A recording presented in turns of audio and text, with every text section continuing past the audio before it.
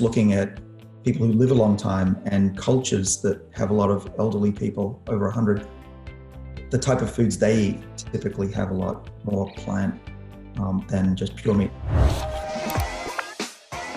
From your perspective as a geneticist, why do people have such different physical reactions to viruses like the coronavirus? Why are some affected and others not? Is it a genetic thing or do you think it's something else? Well, it seems to be both.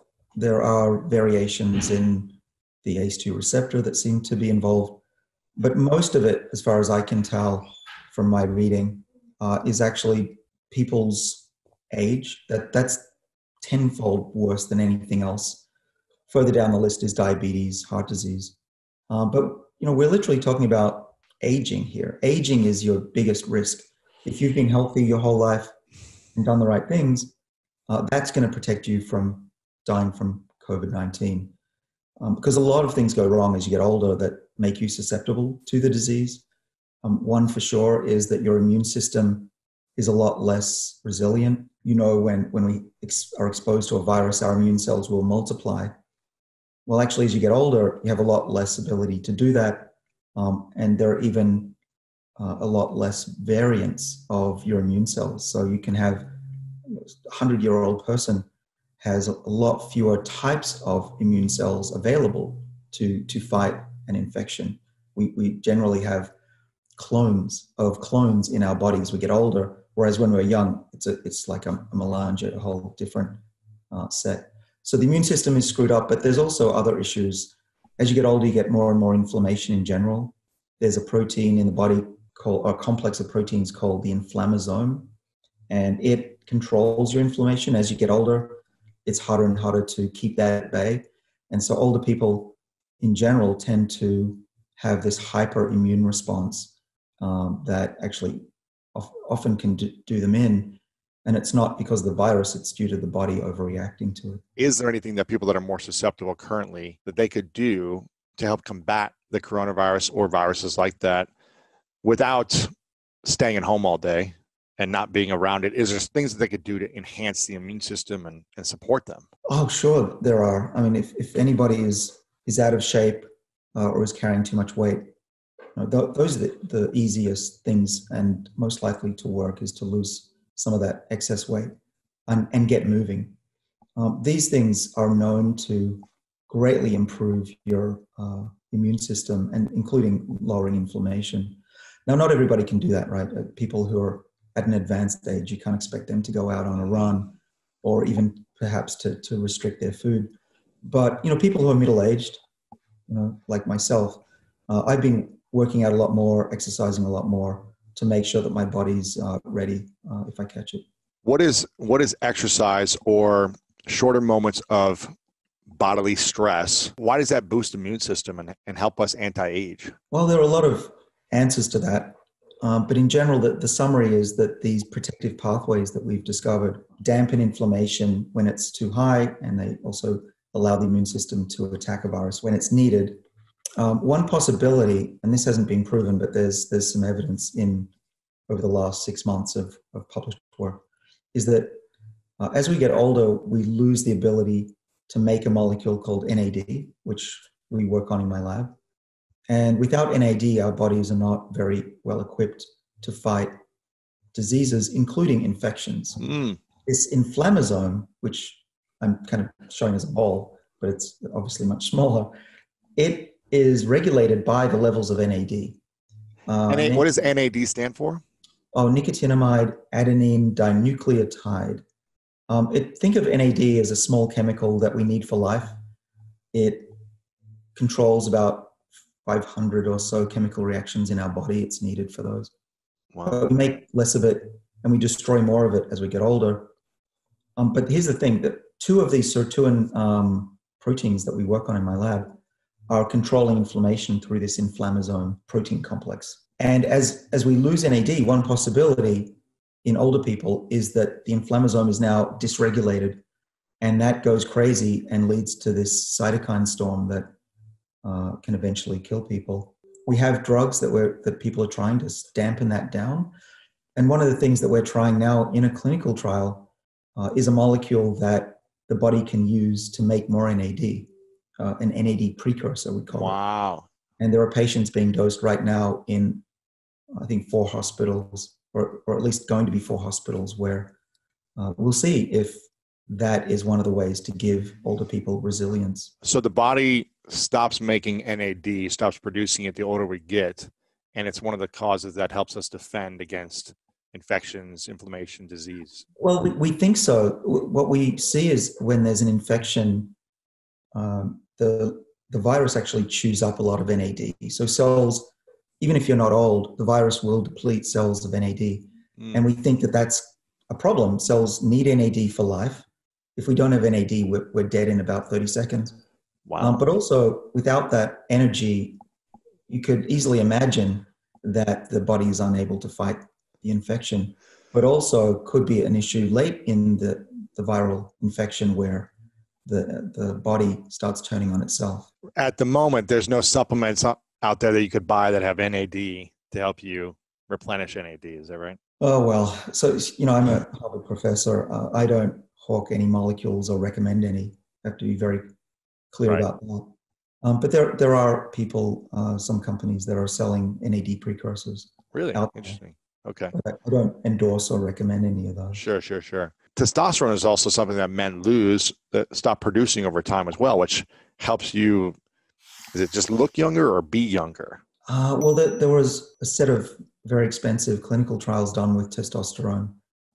And the results from those studies were that there wasn't a change in long term health. The results were they were negative for slowing down aging. Huh. That said, you know, testosterone will help you build muscle. Uh, and having muscle is very important as you get older, of course. You don't want to be frail. Uh, and if you fall over, you want to be able to be resilient and not break a bone. Every, every few minutes, somebody falls, an elderly person falls over, breaks a hip, and doesn't recover from that. Oh, man. So anything that you can do to be more flexible and resilient and have more strength, you know, that to me sounds like a good thing for elderly people. Got it you're in your 50s or 40s, I don't know. I couldn't say I'm an expert on that. I'm going to ask you another question that might be controversial based on a couple of previous um, doctors that I've had on. I had Dr. Rhonda Patrick on, and I asked her, I said, hey, what are some of the, the healthy foods that are marketed as healthy that, in your opinion, aren't as healthy as they claim to be? Essentially, was the question I asked. And she said, grapes have a lot of sugar in them that spike my blood pressure. I think she wears like a glucose monitor, so she's monitoring all of her food and constantly testing it. She said when I was eating grapes, like my glucose levels went way up, skyrocketed, and I realized that that's not good for the body to have, you know, grapes, a lot of grapes, and you can transition it into having blueberries or something else that might be better for uh, the nutritional benefits. I put that online, and people slam me for that. And then uh, Dr. Gundry said that he doesn't think, uh, you know, modified apples the way they are now, how we modify them, how they're so big, how they're full of so much sugar. He's like, I don't think that's good to have these big apples that are modified because of the sugar and the fructose in these big apples, like a Honey Crisp or something. And he was saying we should be having a lot less fruit because of the fructose levels. What's your thoughts on fruit in general? Uh, should we be eating fruits every day? Is it something we, you know I've been heard in the past that like we only used to have fruits right before the winter to kind of store up the fat and and a seasonal thing. There's a lot of fruit eaters out there that believe in eating fruits, only fruit all day. I'm just trying to find the answers. I don't know the, the truth of the matter, but what's your thoughts based on research? So, research, we don't research fruits, of course, but we do research the effects of sugar on the body uh, and it's not good. So try. And, keep- and is that all sugar, or is that fruit sugar or refined sugar? What's do we know that? Well, there's there's glucose and fructose. Okay, so it doesn't really matter where you get it. These are just chemicals. That's the same chemical wherever you get it from. Glucose, you need glucose, right? We, we again we die without glucose, but the foods in in our world are so full of sugars that we're constantly feeding ourselves uh, more sugar than we ever would have experienced even just 100 years ago or 50 even Um, so, where, where do I come down on this? Well, l- let me tell you from my own experience. It's probably better to give you my example Yes. than preach to others. Yes. Um, I, I definitely like fruit and I eat fruit and I encourage it with my kids for sure. Uh, but there, it's a, it's a balance. You want the most nutrition and vitamins uh, and, and the lower amount of sugar. And on a scale of, of that ratio, uh, I think Rhonda Patrick's right that grapes have more sugar than nutrition compared to other fruits. So the types of fruits that I like to have are ones that have lots of polyphenols, colored fruits such as blueberries, blackberries, those things. Um, you don't want to eat too many of them, of course, because then you, you're basically eating tons of sugar in it anyway. But yeah, blueberries I would have in, in a yogurt in the morning if I had had some. Right. Um, the, the other fruit that I think is worth looking at is cantaloupe or rock melon. Um, that I believe has the most uh, nutrition versus sugar of any fruit. Um, so we, we try to eat those kind of uh, melons as well. You know, water, watermelon probably isn't in that category, but we still eat it in summer. The, the point in my family and in my life is uh, we're not so strict that, that we avoid every type of food. I'll, I'll even eat a hamburger or whatever if I feel like it. But most of the time, I try to focus on on plants um, and have meat as something uh, like a reward. Even though I, I much prefer the taste of meat than than just leafy vegetables, but um, I think that it's borne out just looking at people who live a long time and cultures that have a lot of elderly people over 100 the type of foods they eat typically have a lot more plant um, than just pure meat. I know I'm going to get hate mail as well from the carnivores, but it's important people know I'm, I'm not saying don't eat meat. I'm just saying the kind of balance, if you want to focus on types of foods uh, for longevity, that's what the data says. Gotcha. Do you know if um, the people in the, the blue zones who are living over 100 are they are they eating i'm hearing you say they eat more plant-based are they eating lots of meat lots of fruit as well or are they limiting intake on some of those areas Well, they seem to do all the right things. Uh, so it's it, don't eat a lot. Um, on the island of Okinawa, they tend to stop eating when they're only 70% full, which is a very good idea. Gosh it's like i i keep eating until i'm 70% over full yeah. Then, then you can regret. Then I regret it. But you're like oh yeah yeah.